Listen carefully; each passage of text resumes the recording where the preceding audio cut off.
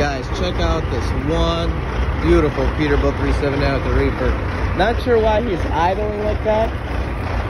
Why it's so rough. Maybe he did on purpose. I thought it was a crankshaft position sensor going out, but I think it's idling like that purpose. But what a beautiful Peterbilt this is. Love it. I wish I could own that someday. Stretch frame too. Everybody has the airlines running too.